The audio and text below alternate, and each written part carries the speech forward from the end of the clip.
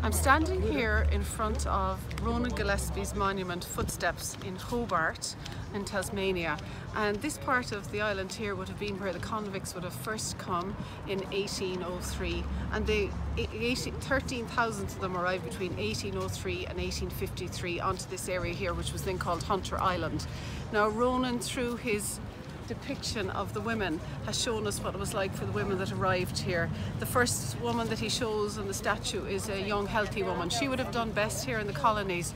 They would have been marched up to the Cascades female factory but if she was lucky she might have been put out for um, unpaid labour.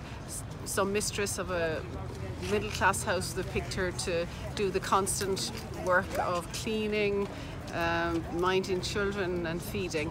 And the next woman though is a woman with worry and grief because she is an older woman and she would have done a little bit worse here in the colonies because just think if a household can get somebody for free, a young girl, why would they pick her who was so much older? The next lady and woman in the, depicted in the statues is a woman with a baby in her arms.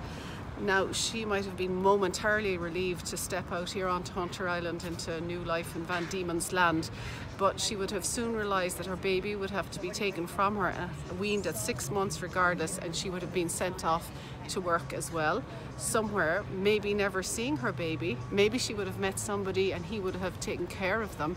Then they would all have been, you know, together as a family again.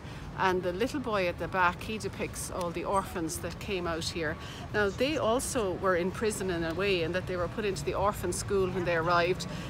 Two-thirds of those children never got out here to the colonies. If you were a child of a convict you may never have got here. But if you did get here like this little boy then your life was in the convict school until you were 10 12 and then you were sent off to work however maybe your mother would come back for you and you would have a family life here so it was very precarious life for all of the people that stepped off onto this island back in the 1800s.